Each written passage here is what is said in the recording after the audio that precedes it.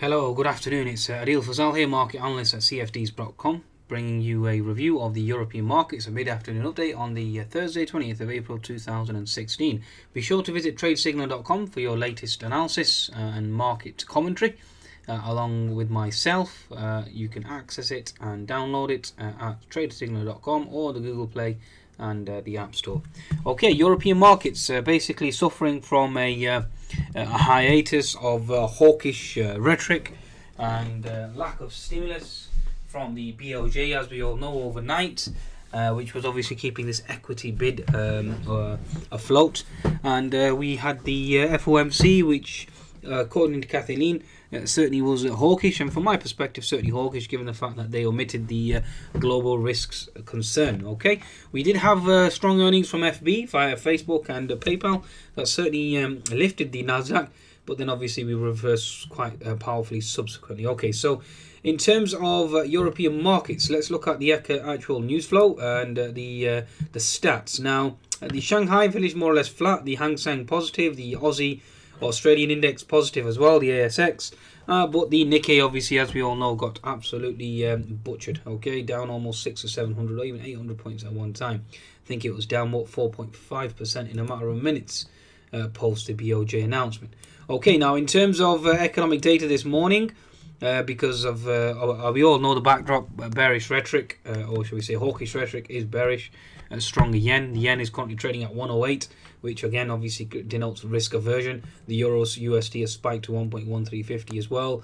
As we all know uh, the ecb and the boj are the two active members of qe and uh, if the euro and the yen start to move higher then that indicates risk off okay?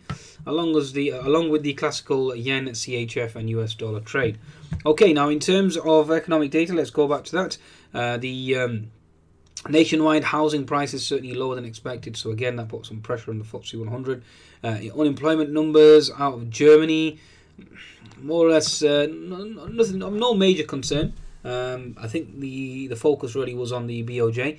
Uh, now, in terms of uh, EU data, services sentiment better than expected, consumer confidence more or less in line, industrial confidence slightly better than expected, economic sentiment indicator slightly better than expected, and business climate slightly lower than expected. So, a mix out of messages there in terms of economic data. Nothing major, no market moving news there other than the German uh, unemployment numbers. But having said that, the focus has been on the uh, QE uh, and always has been on QE, okay? And the lack of stimulus from the BOJ certainly hurt sentiment. Now, we do have uh, consumer CPI data out of Germany in the next 15 minutes, and then we have a barrage of US data. We've got GDP coming out the US, initial jobless claims, continuous jobless claims, consumer uh, personal consumption expenditure, which again is very important, uh, so keep an eye on that. Kansas Fed.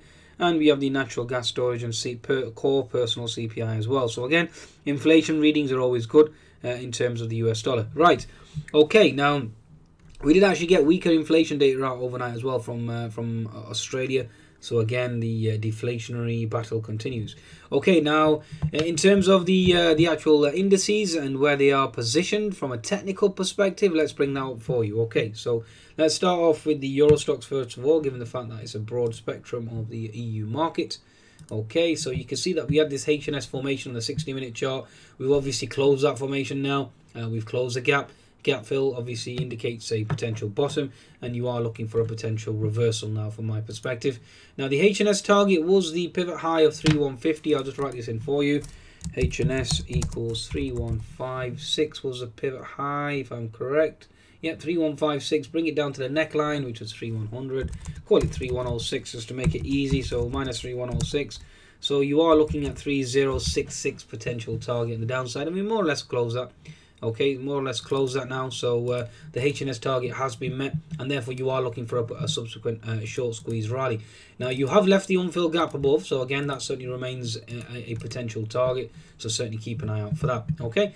Uh, in terms of the daily chart, let's just bring the daily chart. The Euro Stoxx at the moment, again, is gap fill. Really, that's basically the story or the scenario at the moment. Obviously, you do have previous support equals resistance or previous resistance equals support.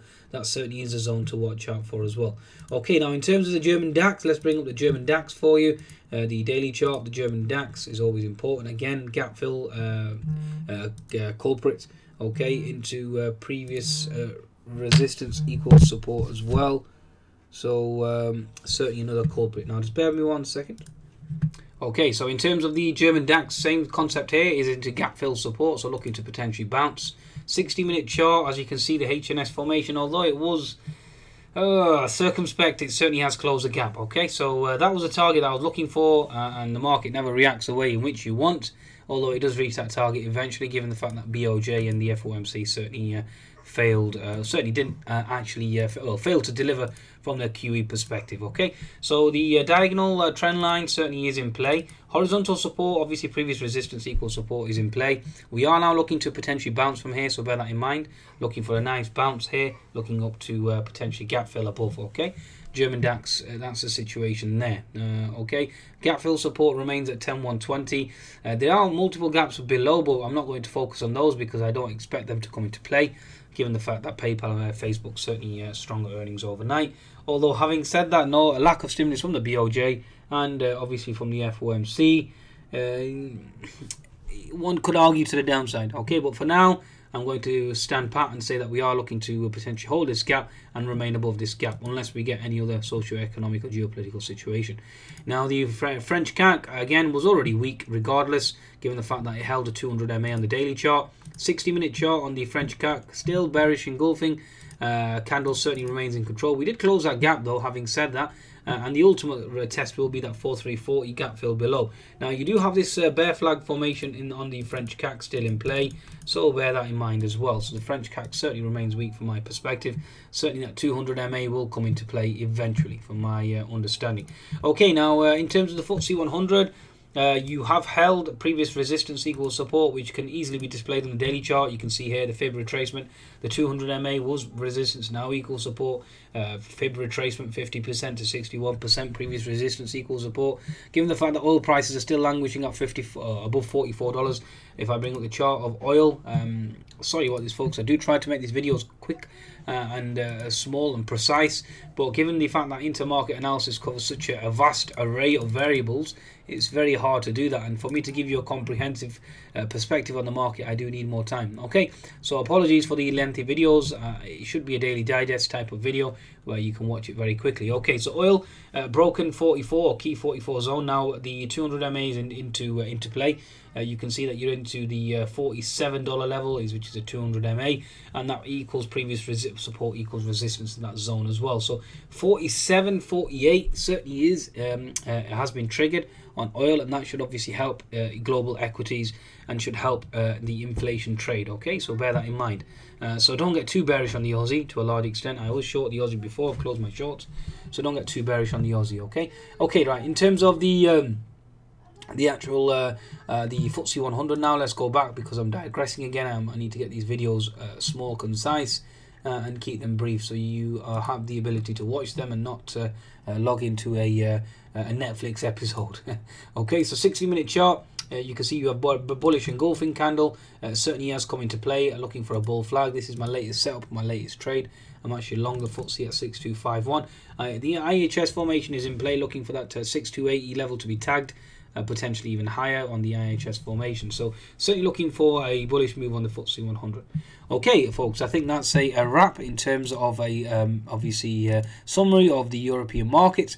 Certainly bearish due to BOJ and FOMC, a hawkish uh, surprise to a large extent. A lot of people were surprised, especially with the BOJ.